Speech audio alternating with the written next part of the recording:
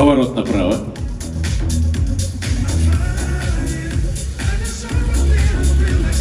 Спиной к судьям.